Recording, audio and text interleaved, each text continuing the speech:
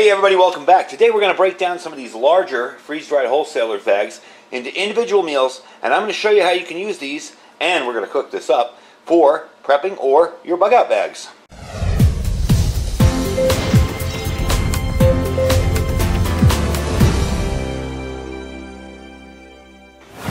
Alright everybody, welcome back. Now I am going to prepare this meal. Of course I have a little bit too much of everything in here. I'm just going to make a little meal for myself.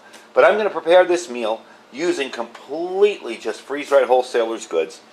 Um, one of the things I wanted to do today was show you how you can take these and break them down into smaller packages and use them for, say, a camping trip, if you seal them up correctly, a bug out bag.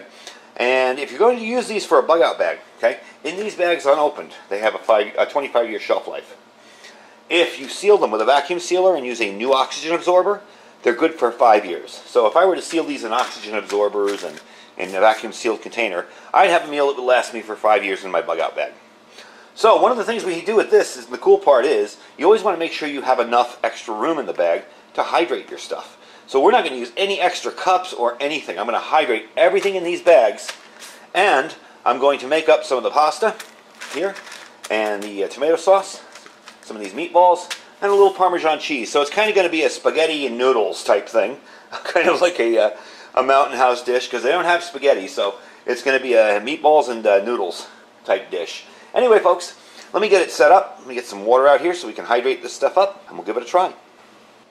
Alright, now when it comes to the tomato sauce, I add um, enough so that I get the thickness I want, the consistency. Again, you're just putting random amounts in these bags, so you don't know how much water you're supposed to be using. So as a general rule, I'll just toss that in there and mix it around a little bit. Put a little more water in until I get the consistency I want. Okay? And that's really simple to do. As you can tell, even in a bag, you can hydrate this stuff real easy. That's a lot of sauce, by the way. I put in a little too much when I uh, when I portioned it out last night, but I figured, yeah, that's okay. I'll use it for something else. So we're getting really thick sauce here. That's probably going to be a little grainy too, so you probably don't want that. So what you're going to do is just add a little extra water to loosen it up a bit. So anyway, that's pretty good there. A little more water in. Like I said, that's a lot of sauce. There we go. And you got some stuck on the bottom here, so let me get that out too. And don't forget too, you can seal up these bags, especially Ziploc bags. Not so much with your vacuum sealed bags, but the Ziploc bags. See how we have a little, uh, a little bit in there? You just mush it around in there. Mush it around, shake it up. There we go. Okay, that's hydrated. Next up, now normally what I do with the noodles is I just boil them. They're so close to being ready, and I will boil them. I'll usually do them last, but in this case we're doing this with one burner and one pot. So I'm just going to toss them in there. A little bit of water in that. And we'll get more water out here. And there you go. So they're ready. And they'll hydrate very, very quickly. Matter of fact, let me get the air out of that bag so it doesn't tip over. There we go. That's a little better. Now, meatballs. Meatballs, again, I'm probably going to boil the meatballs first because I find that they hydrate a little bit better. Let me get this out of here. Um, when they've been boiled, but I am going to put them in water here, and I am going to put a little more water in there. And we almost have the perfect amount of water. And don't forget, too, if you're going out for like a day trip or a day hike, you can hydrate this stuff and just go with it. You know, you can put it in the bag here, seal it up, and go on your day trip. And by the time you get to where you're going and you want to cook your meal or you're going camping or whatever, you're ready to go. So I'm going to let those sit there. And lastly, we have the Parmesan cheese. Now this is kind of tricky. What I like to do with this is just get it damp. Okay? I don't want to go too crazy with the water. Yes, you can strain it off. But I really just want to get the stuff damp to the point where there's just a little extra water in there. Okay? Sealing it up here. That's why I'm bringing it close to me. Okay, and then I'm just going to shake it up, make sure the water hits everything, and just let it hydrate like that.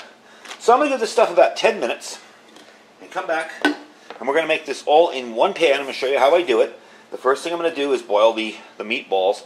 Then when they're done, I'm going to take that water out, put that in, and then the, uh, the sauce in with the meatballs when that's done, and everything together, and a little bit of Parmesan cheese, as a garnish. So let me get this all set up. All right, so the first thing we're going to do, because they take the longest to hydrate, is I like to boil the meatballs. I don't really, I boil them too much. I like to heat them up. I guess that's the best way to put it. So I'm going to move the stove out of the way. And you see, we're just using a, single burner, nothing fancy.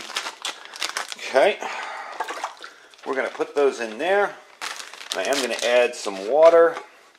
These will hydrate very, very well um, once you get them going.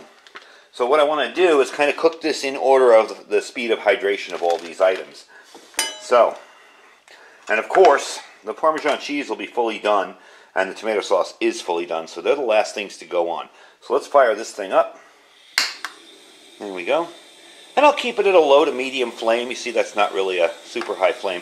One of the reasons I'm using this flame, this, uh, this stove from Alocs is because it's a very controllable stove so I don't go nuts with it. So let's give some time to these guys. They're already starting to get a little soft.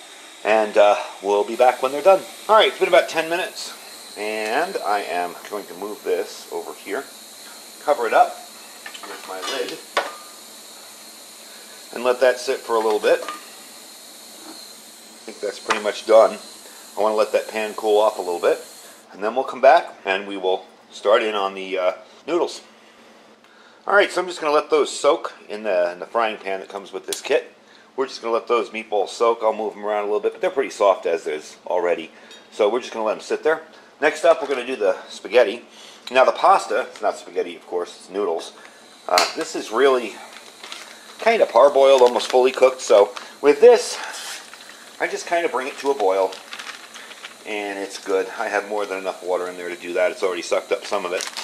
So we're going to get that going and it's already kind of, let me see if I can show you. Yeah, see? We already have a soft noodle consistency.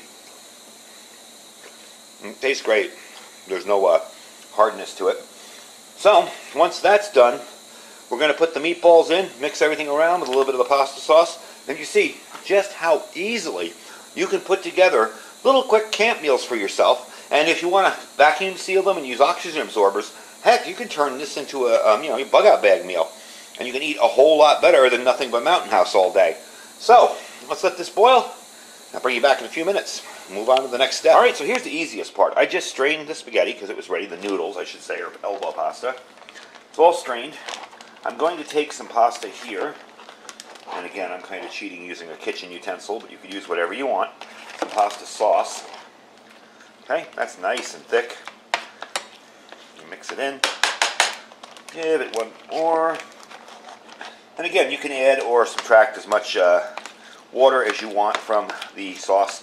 The sauce will also heat up um, once you put it in with the noodles, you know.